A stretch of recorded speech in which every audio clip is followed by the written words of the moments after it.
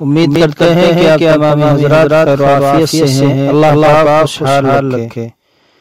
लानत का निशाना खुद भेजने वाला ही बन जाता है।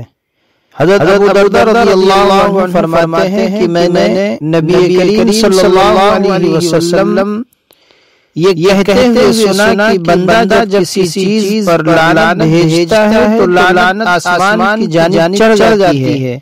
उसके पहुँचने से पहले आसमान के दरवाजे बंद कर दिए जाते हैं और उसको ज़मीन की तरफ़ फेंक दिया जाता है और उसके दरवाजे बंद कर दिए जाते हैं। फिर वो दाएँ बाएँ घूमती रहती है। और जब जब उसको निकलने का कोई रास्ता नहीं मिलता तो वो उसकी तरफ़ जाती है जिस पर भेजी गई है।